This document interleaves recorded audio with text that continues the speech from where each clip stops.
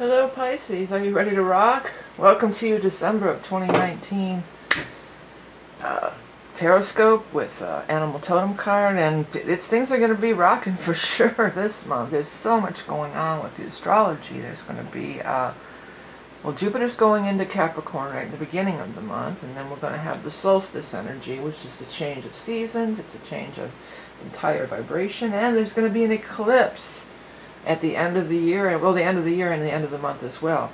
I am Vickie Verlie, the Rock and Roll Prophetess. This is for Pisces Sun, Rising, and Moon. As always, we're gonna. I do tarot, psychic tarot, and I do also do astrology. We're gonna get into some. Uh, we probably won't do much astrology today, but it's uh, that's available also if you're interested. We're gonna do the Rock and Roll Tarot deck for starters, which is my own design. Then we are going to pull a card from the Beast Mistress Animal Oracle card, also my own design. And if you're a level 2 Patreon person, then there's going to be an additional card pulled from the uh, Earth Magic Oracle cards by Steven Farmer. So stay tuned. I have much to talk about. Yeah, so there is just so much uh, stuff going on here with this uh, with these changes. And um, excuse me, the thing is. Um, it's just going to be a big change for just about everybody. Uh, you're not going to, I mean, everybody's going to be affected. You may not be affected as much because it's not exactly hitting on any of your stuff. Um, but it is, um, you know, it is going to be hitting on um, sextiling. And sextiling is harmonious, but sextiling, no matter what, it's, it's going to be, uh, you know, eclipses bring about changes. The solstice uh, ingresses bring about changes. Uh, so it's a time of great change. Uh, Jupiter moving into Sagittarius, it, I mean from Sagittarius where it was squaring your sign, which brings about friction, and then moving into the sign of uh, Capricorn, which is a more harmonious thing. So many of the changes that are going on are going to be more harmonious with you and more um, aligned with your flow, you know. Let's see, one, and then one last card for Pisces. I almost said Sagittarius. So Sagittarius, uh, you know, I've said that a couple times, twice already here by mistake. Sometimes when I say things by mistake, it's, you know, it's not a mistake. Now, this is a general reading, and I don't assign gender to the court cards. So we've got a king here.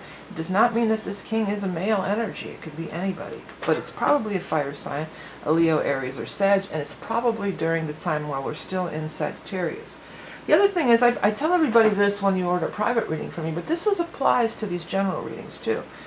Like you might let those words talk to you. If you see something kind of standing out to you, a word like here, journey is really standing out to me, allow that to happen. And if you watch this video more than once, the next time you watch it, maybe a different word will stand out to you.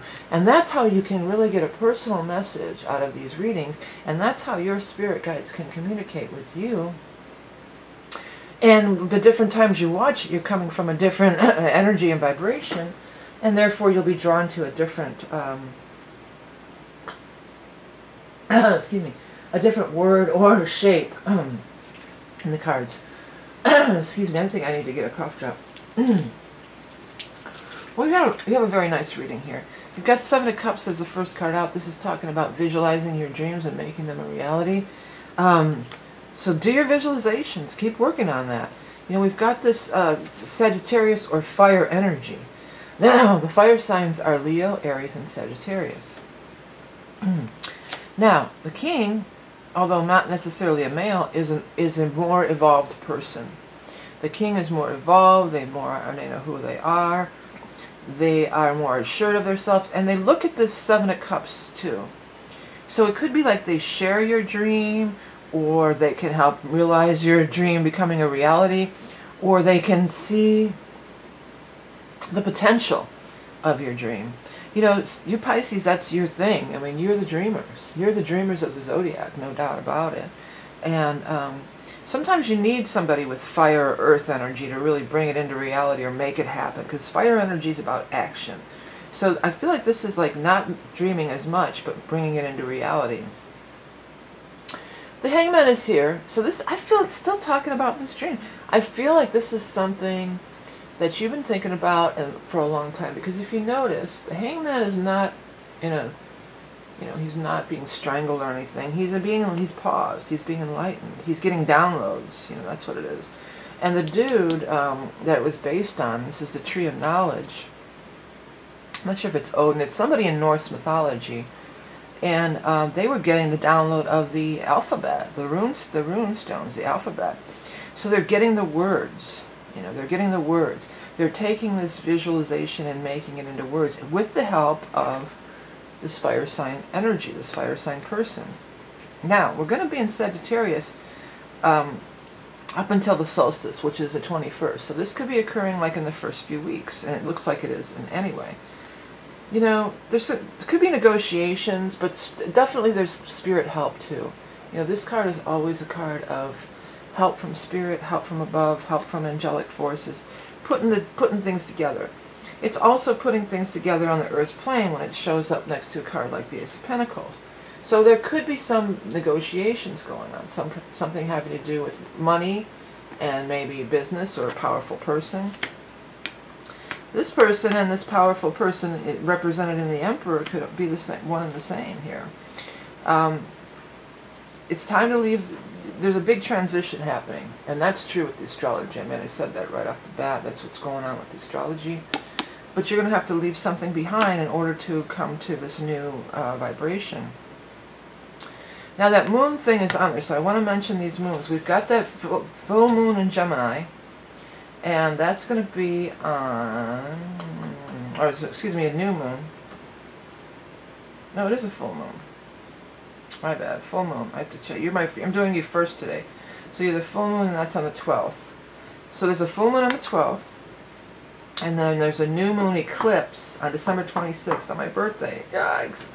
Um, so I'm like, I don't know what to think about. I never, it's either on the 25th or 26th, depending on where you are. Yeah, I never, I was always like, yeah, whatever. Don't be, people like, oh, it's Saturn, oh, it's an eclipse. Ugh. But boy, that last eclipse in Capricorn last year really changed a lot. So, but this changes for everybody. And in your case, it seems really positive. Because I always look at, well, what's he moving? He's moving away from something here. He's leaving this behind. What's he moving toward? He's moving towards the Two of Cups. That is a soulmate card. So for many of you, if you've been wishing for a relationship, this could totally be happening too. It's all about shifting. And that partnership looked like parachute to me. And again, let that happen if you see a word changing into something else. So I don't know if parachuting has anything to do with anything. Um, and it's followed by the Empress. Some of you could fall in love and somebody could become pregnant and have a baby. But the Empress is also just this overflowing with abundance. It's just overflowing. My dream, I've got the money happening, I've got the love happening, and I've got my health. Empress is a card of health. So it looks like it's a beautiful journey for you. That's what shows up to me. And it looks just super favorable. This is going to be a lot easier than it has been with all these uh, other um, mutable energy squaring on you. These nice sextiles are still going to be changed, but, you know, you're Pisces, you can flow. You're a fish, you can flow down that stream and allow things to happen. Uh, before I get into the animal totem, I just want to remind everybody again, for a limited time, we're going to have these year ahead readings. And it's just kind of the same setup as this for, for the most part. Um, I lay it out like this with four quarters. Instead of three, there's four quarters. And then I do an animal totem, and I look at your astrology too. There's a lot of astrology coming up in the next year, Saturn, Pluto, and stuff. It's always my most popular reading, and it's available for a limited time, so don't forget to check it out if you're interested. Also, I want to thank everybody who has supported me through this year and the years prior. And, um, you know, it's just been a great ride here. I've been on YouTube now for going on, I don't know how many years, a lot, lot of years now. And it's been a great ride. And I wanted to put out put it out there, not just for me, but all your favorite YouTubers, if you if you so feel like it. Just as you might tip your postman or something if you wanted to make a small donation in appreciation. I'm sure myself and all the other readers would be highly appreciative of that. But it, I appreciate everything else that you do do, including liking, sharing, commenting, etc. But let's get this Pisces uh, energy. Pisces, come on, what is your animal totem? Talking away and nothing's coming out here. Come on now, show me. the pig. Pig is not a bad card. People say, "Oh, pig, what, what?" You know. but pig is awesome, man. Pig is abundance, fertility. Okay, tenacious, steadfast, bold, independent, bringer of luck, prosperity, and wealth. Prolific creation, a time of great fertility. Yeah, just like the emperor, uh, fertility is the top word on the card. And so it's with the pig, you know, this is going to be a real time of prosperity. It just feels like they, I keep being, I'm really drawn to this stream that's between the two cups there. It's almost like the energy of the two fish, you know, for you. And the two cups here, and the two cups here.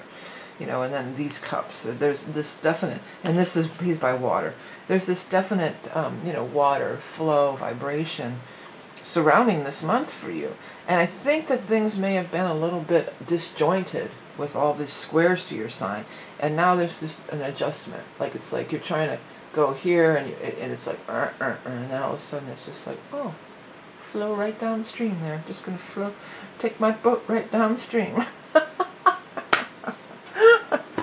Okay, Pisces. Well, I want to thank you again just for everything that you've done so for me for this year. Uh, also, it's a great time to start thinking about ordering. If you don't want the year ahead personal reading, I do the astrology reading. I have books, decks, and all sorts of stuff that make great gifts for the holidays. I know it can be tough getting through the holidays for a lot of people, so I want to send a special light out for those of you who maybe going through some tough holiday times. You know, I know I can relate to that. Or if you're missing loved ones that aren't there, um, I'm, I'm thinking of you and sending some light your way. Thank you for everything you do throughout the year, liking, sharing, commenting, etc. If you are Patreon level 2, I'm shuffling up now. We're going to do another one more card from the Earth Magic. You can check that out if you're interested. All that information is above or below. Don't forget to hit subscribe. Have a great month of December, a great eclipse, a great solstice, a great Jupiter and Cancer, ah, Capricorn. There's just so much going on this month, and then with the hustle and bustle of the holiday. So find your center, find your peace, get in your flow, go where the universe calls you and takes you down that magical stream. Okay, Pisces. Remember your love and beauty incarnate. Have a great one. Bye.